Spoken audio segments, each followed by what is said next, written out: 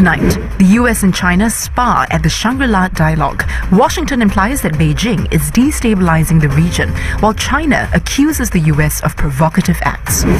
And US police reveal chilling details about the gunman who killed over 10 people in Virginia Beach.